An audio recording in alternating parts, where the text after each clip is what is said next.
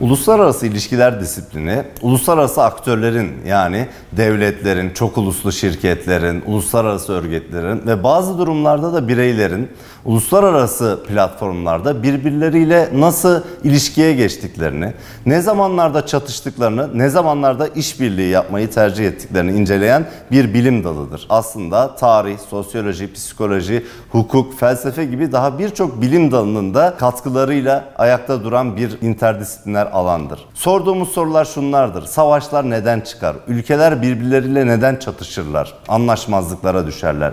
Veya tam tersi devletler veya uluslararası örgütler neden işbirliği yaparlar?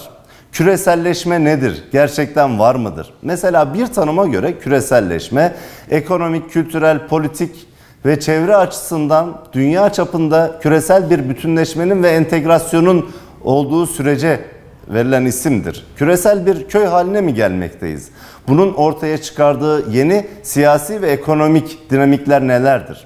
İşte uluslararası ilişkiler bölümü mezunları interdisipliner eğitimleri sayesinde çok geniş bir spektrumda bunları çalışırlar ve bunlara göre istihdam olanaklarına sahiptirler.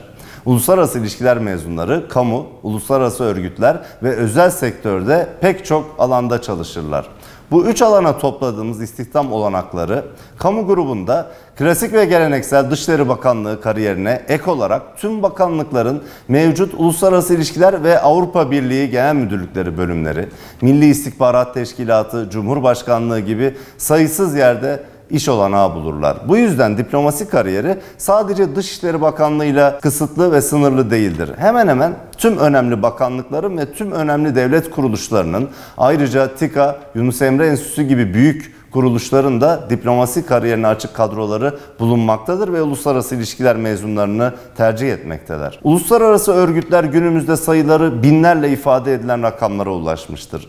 Birleşmiş Milletler, Avrupa Birliği gibi büyük kuruluşların yanında çok daha küçük ölçekte faaliyet gösteren tüm uluslararası sivil toplum kuruluşlarını da bu kategoriye dahil edebiliriz. Mesela Uluslararası Kızılay ve Kızılaç Örgütü bu kategoriye dahildir. Mezunlarımız, uluslararası ilişkiler mezunları Birleşmiş Milletler çatısı altında bulunan düzinelerce uluslararası örgütün yanında Avrupa Birliği, Türk Konseyi, İslam Konferansı Örgütü, İktisadi İşbirliği Teşkilatı gibi sayısız uluslararası örgütte çalışma imkanına sahiptirler. Özellikle özel sektör spektrumu ise medya, çok uluslu şirketler ve düşünce kuruluşları başta olmak üzere çok geniş bir istihdam alanı ortaya sunmaktadır.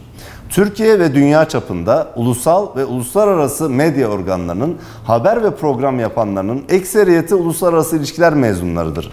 Çünkü farklı ülkeler, bölgeler, devletlerin tarihine, siyasetine, e, politik tercihlerine ve yabancı dillerine hakim oldukları için medyada çok rahat çalışabilirler. Çok uluslu şirketler ve düşünce kuruluşları da uluslararası ilişkiler mezunlarının yüksek sayıda istihdam olanağı bulduğu yerlerdir. Kapadokya Üniversitesi Uluslararası İlişkiler Bölümü Türkiye ve dünyadaki diğer bölümlerden farklı olarak öğrencilerine iki şekilde uzmanlık eğitimi vermektedir. Birincil olarak bölge uzmanlığı ve ikinci olarak da tematik uzmanlık olarak adlandırıyoruz bunları. Bölge uzmanları Avrupa, Balkanlar, Kafkasya, Orta Asya, Orta Doğu, Uzak Doğu ve diğer bölgeler ile ilgili açılan seçmeli dersler sayesinde bu bölgeler hakkında derinlemesine bilgi sahibi olurlar.